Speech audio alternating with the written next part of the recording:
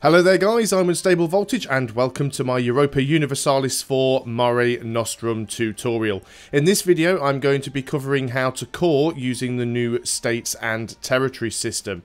If you're completely new to EU4, I'd highly recommend that you go and check out my Common Sense tutorial series. Those are longer videos, but they will teach you the fundamental basics of how to play the game to a competent level. And if you want to watch that series, the link is in the description below this video, and you should also be able to click on the card that should be in the top right hand corner of the screen now. So with that out of the way, I'm going to assume that anybody watching this video at least understands what cores are in EU4. Now, this is one of the biggest changes, in my opinion, in the Mare Nostrum expansion, because first of all, it changes a game mechanic that's been around pretty much since the start of the game, and secondly, it's actually part of the free patch, patch 1 0.16. So regardless of whether or not you actually buy Mare Nostrum, if you keep your game up to date, this change will affect you. So first of all, the way cores always used to work was if you took a piece of land from somebody, you had to core it. And there were certain things that would determine how many admin points it cost to core that land. It was mainly based, uh, based on the land's development value. The more development a land had, or before development it was uh, off of base tax, but the more development a land has, the more admin points it costs to core. Now, there are some things that can affect those positively and negatively. If you have a claim on a piece of land, uh, let's go. Do we have claims on these ones? I know uh, we're playing as Castile here. Castile does sometimes start with claims on certain lands, but I couldn't remember which ones. No, apparently they don't. Uh, if you have a claim on a province, it reduces the amount of admin it costs to core. And if you were to take something like if we look in Morocco here, and we look, look over the coring button, at, at the bottom it says they have Berber traditions, which increases the admin cost for coring.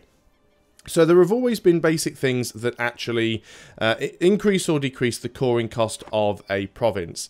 But one of the big issues that you used to have was provinces that were classed as distant overseas. And this was always a problem, especially for nations in Iberia like Castile, Portugal, Aragon Granada if you played them. Especially if you were taking land in Africa. Now I'm going to be using a couple of console commands during this video because it just makes life a little bit quicker. So the first thing I'm going to do is I'm just going to turn off the fog of war. And I'm just, um, actually no we can leave the fog of war on but I'm going to turn off Terra Incognita. And now we can see all of the land. So, what I'm going to do now is if we go and have a look at the geographical map modes, and you should see that the... There we go. The sixth one down is overseas provinces. If we give that a click, and you can see with Castile selected, anything here that is green which is everything in the Europe area, is not classed as distant overseas. None of this is classed as overseas. And we can also see that some of the north coast of Africa, so all of Tlemcen, Morocco, and a little bit of Tunis, this is not overseas either. But then the rest of Morocco and the rest of Africa is all distant overseas, even though if you actually look at, uh, say, this province here, Abda, Abda is closer to our capital than, you know, these provinces over here. Now, the disadvantage of having provinces that are classed as distant overseas is that they always have a 20 uh, sorry a 75% uh, local autonomy floor. So you're only ever going to get 25% of the value out of one of those provinces. And this is what the states and territories system tries to get around. So let's go and have a look at that. So one thing you might notice in the geographical map modes is there's now a new button called States and Territories. If we go and click on that, you can see that the parts of the map here have turned green. So the reason for that is anything that is a state is dark green. Anything that is light green is a our capital state. So it's the state where your capital is, and that is you always have to have a state where your capital is. It can't be in a territory. Uh, the stripe lines means that we own provinces in this state, but we don't own the entire state. So this is the state of Upper Andalusia, but we don't own this state, Granada does, but we do own Jaen, which is part of Upper Andalusia. Now, if we just go here and click on the Stability and Expansion tab, you'll see we've now got this new little box here, and this says um, we have, is there's a number there that says 15. That is how many states we're allowed to have. There's no limit to the number of territories you can have, but there is a limit to the number of states. Now, it's telling you where that 15 limit comes from. We get a, a limit of 5 for being a feudal monarchy. We get a base value of 5 anyway. So everyone starts with 5, and then an extra 5 for being a feudal monarchy, and then an extra 5 for our government rank, which should be a kingdom. Yeah, we're a kingdom. So you get more if you become an empire, slightly less if you are a duchy. Now, there are ways to improve that. And I think it says here, the maximum number of states can be increased by increasing government rank, advancing administrative technology, and completing administrative idea groups. So if you go and look in technology, first of all, you can see down here on the admin tech that you get more states or allowance of more states when you hit admin tech level 8, 12, 17, 20, 24, 27, and 31. And if you go and look at the idea groups, and some of the admin ideas, I can't remember where they all are now, but there are some idea groups in here that do allow you to have um, more states. But you should be able to keep up with the growth. Now, going back and looking at that stability and expansion tab, why does it say we have seven states? Well, the reason for that is if it, you mouse over, it'll tell you we actually have Toledo, Leon, Castile, Lower Andalusia, Asturias, Upper Andalusia, and uh, Macar... I never get this one right. Macaronesia. Now, if we actually go and click on the areas map mode, and that splits down all of the um, regions into their areas, each area is actually a state. So if you look at this list again, Toledo, Leon and Castile, well, this green area here is Toledo. This is our capital province, um, our, our, capital state. This white state here is Leon. Um, Castile is this sort of salmon-coloured state over here. Then we have Lower Andalusia, Asturias. Um, this is Lower Andalusia, these uh, pink provinces here. Uh, Asturias is this province, uh, this state along the top here, the sort of almost purpley coloured one, the puce one. Uh, and then we have Upper Andalusia, which we've already spoken about, which is this one province that we own here, but the rest of Upper Andalusia is down here in Granada. And then finally, the Macaronesia is actually the Canary Islands down here. This is the, st the state of Macaronesia. So these are all the states that you can have. Now, you'll also notice if we mouse over them, it actually says that we... It tells you the development cost for each of those provinces.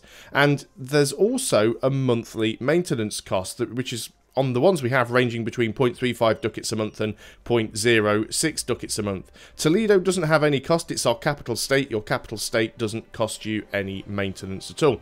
So everything you have that is a state you have to pay a maintenance cost for. But all of your provinces that are in states will have a floor of 0% autonomy. The reason some of these are showing 25 is because they belong to estates. Estates being the um, mechanic that was added in the Cossacks, such as the nobility, the burghers, and the... Um, can't remember the name now, it's just gone from my head. It's the religious one, the clergy. Right. So, Let's go and do a few things here. First of all, if we click on any province, you'll now notice that there are these two new buttons here in a little symbol. This symbol tells you whether something is a state or a territory. Now, you've got two buttons here. One of them is to abandon a state and turn it back to a territory, and one of them is to call core all the provinces in that state or in that territory. Now, we can't click any of these buttons. First of all, it's already a state and everything's fully cored. And secondly, it's, it's not possible to abandon a state if it contains provinces that belong to an estate. So we're going to use the console here and do a couple of little things. First of all, let's say, for example, that we went to war and took all of Morocco. Okay, now as I've already showed you in the geographical map road, some of um, Morocco is not distant overseas, but some of it down here is distant overseas. So that's what we're going to do. So what I'm going to do now is I am going to just bring up the console and I'm going to use, I'm going to actually give myself some admin points first because we'll need those later. And I'm going to use the console command annex Morocco. And what that will do is that will give all of Morocco to us, but with no cores. That's like we've just taken all the land, we haven't cored anything. If we go and look on these now, you'll see that none of them actually have cores. Now, if I go to these ones, now some of them we might not actually be able to reach because they might be too far away. No, we can all get them. So as you can see, we have the option to make these into cores. And if you look at the bottom, it says the following multipli multi uh, multiplicative modifier is territory minus 50%. So because these are territories, and we can check that by going to the states and territories map mode, you can see that this is actually now yellow. and it's yellow because it is a territory, not a state. Because it's a territory, it only costs us 50% to get a core here. And we can go ahead and we can core all of these provinces individually, like so. Or we can actually go around and just click on the core all provinces in Marrakesh and core all provinces in Fez. And what you'll notice here is that we do have, again, North Morocco, we've got multiple territories. Now, if we go back and look at our stability and expansion, we had zero territories before. We've now got five territories. And it actually tells you how much it would cost you as a state per month. So the reason that we've got multiple territories here, again, if we just go back to the uh, areas map mode, is you can actually see that Morocco is split up into Tafilalt, um, Sousse, Marrakesh, Fez, and Maghreb. So you've got multiple different um, areas here. So let's just go back to the normal map mode. It'll take a long time for those cores to complete, so I'm going to do another little cheat, and I'm going to grab Tunis. And the reason I'm going to grab Tunis is because I want to show off something very specific. I can't grab Tlemcen because Tlemcen isn't distant overseas, um, but with Tunis, two of their provinces aren't distant overseas, these two here, um, Matidja and Kabylia, and then the rest of them are distant overseas. So what I'm going to do, I'm going to use a slightly different console command this time, and this time I'm going to use integrate, um, if I can spell it right, uh, because what integrate will do is that will give me the land, but it will also automatically be cored. Now I'm just going to press a button and then unpress a button because it gives me full cores on everything and I don't want full cores on everything. So, what we have here now is we have even more territories. Everything here is a territory. Now, we should automatically have... It's not doing it the way I want it to do. Let's do it there. Okay, fine. This is what I wanted. So, what we've actually got now, and we're going to look at two different, um, two different territories here, and we can see that more easily if we just go back into the areas map mode. So, we've got this province here, which is in, actually, um, yeah, we've got this province here, which is in Algiers, and we've got this province here, which is in Kabylia. So this one isn't distant overseas, this one isn't distant overseas, and the rest of them are. So what we have now, imagine that we've taken this, this is a territory, and we have cored it. Now, you'll notice the core has a slightly different coloured border. It's very hard to see on YouTube because of the artifacting, but the border is actually more of a sort of a bronze or a copper colour as compared to the gold colour around a normal core. And if you actually mouse over it, it actually says that it is a territorial core. Now, the territorial core, as I pointed out when we started doing some coring over here in uh, Morocco, the territorial cores only cost 50% um, of the actual normal coring cost. Now, if you actually look here, even though this province is not distant overseas, it still has an autonomy floor of 75%. We can't go any lower. And it actually says, if we mouse over, territories cannot have autonomy lower than 75%. And even if we go over to this territory here, this province is not distant overseas, 75% floor. This province is distant overseas, 75% floor. But what we can do now is we can take this territory here and we can click this button to make it into a state. So if we click this button now and it comes up and it will tell us it will cost us 0.27 ducats in maintenance every month, but it will increase our income by about 0.19.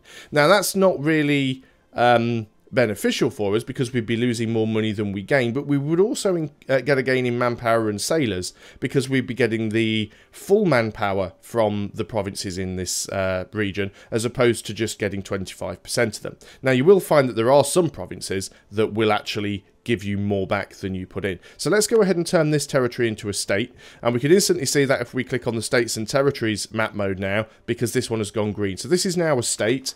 Once again, if we have a look in the stability and expansion, we now have eight states and we can see that Kabylia is now on the list. It is at the bottom of the list there. So what does that do? Well, now that we've turned this territory into a state, the first thing you'll notice is that the autonomy floor is now gone down to 50%. So no longer is it a 75% autonomy floor, it's now a 50% autonomy floor. But they still only have territorial cores, these half-price cores. But what we can do now is we can actually go to these cores and we can make it into a full core. Now the great thing about doing this is it still only costs half of the amount of a full core. So we've we've already paid half with the territorial core. We're now going to pay the other half and get a full core. But if we do this, it's instant. You don't have to wait. This is now a full core. This is a territorial core. And you can actually see the difference in the core icons here. So this is a territorial core. It's sort of darkened out with a slightly bronzed border. And this is a state core. It's highlighted with a gold border. And once again, we can just go and use the core all provinces button in that one particular state. And you'll now see that all of these uh, regions have an autonomy floor of zero. Some of them do have some autonomy, but that's because they've got things affecting them uh, there are various other modifiers that do affect the autonomy in provinces such especially things like the uh, new corruption mechanic and things like that. So there's always going to be a little bit of um, autonomy, but the autonomy floor is now zero. So what this basically means for you is that you can actually decide which land that you want to become a state. So states are more expensive because they cost you maintenance every month, but you can actually get 0% um, autonomy even in distant overseas lands. And that's fantastic because if you're playing as somebody like Portugal or Castile and you decide that you want to go and, you know, take out Mali for some reason and you grab a load of land down here, normally if you grabbed all of this, it would be distant overseas and it would all have 75% autonomy. And you could decide if you wanted to to make all of these into states and fully core them and they would have 0% autonomy. So that is the idea behind the states and territory system. Now, it is possible to go and turn a state back into a territory. I think what I'll do here as well is I'll just um, tag switch to England. So playing as England now. And uh, again, if we just have a quick look at England, we'll see that they have 10 states because England's actually uh, split up into quite a lot of different areas. If we just have a look at that. And again, you've got, this is the East Anglia, uh, um, East Anglia area. So this is the capital state. Now, most of these states we can't actually take back because they do belong to estates. But the state of Mercia actually doesn't have any territories in there that um, any provinces that belong to a state. So what we can do is we can click on one of the provinces in this state and we can press the button to make it back into a territory. We get a confirmation dialogue. By no longer considering Mercia a state, we will no longer be forced to pay the 0.39 ducats in maintenance every month, but the local autonomy level in the provinces will be increased to a much higher level. So as you can see in Derbyshire, the local autonomy is 0%. If we go and turn this into a territory, the autonomy floor is now back up to 75%. Even though this is only two provinces away from our capital and it has a direct land connection, it's got 75% autonomy because it is just classed as a territory. You'll also see that the core has now changed back to the bronze border, so it is now a territorial core. And if we were to change it back into a state, which we can do, and it would tell us that turning it into a state will cost us 0.39 in maintenance every month, but it will increase our income by about 0.77. So this is a good example of converting a territory into a state and actually making a profit from it, not to mention, of course, the increase in manpower.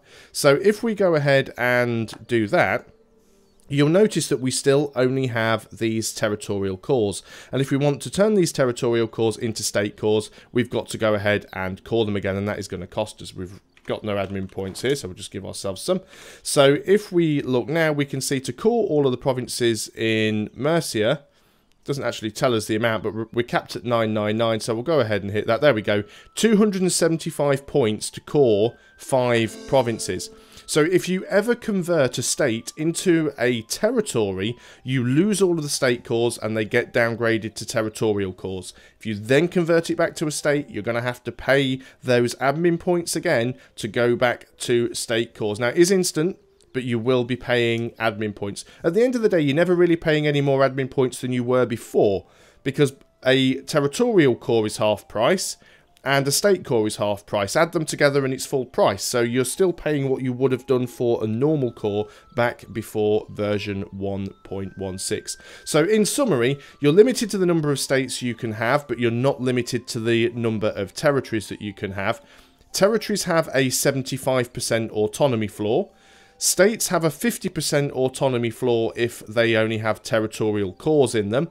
If they have state cores, they have a 0% autonomy floor, but you do pay maintenance for the states. But Overall, it's going to be really, really good for people who want to expand a lot because you can pick and choose which land is the most valuable to you and which land is the most beneficial to you and make that into states. And any land that you've got that you consider to be a little bit worthless and maybe just a stepping stone to reach somebody else, you can leave it as a territory.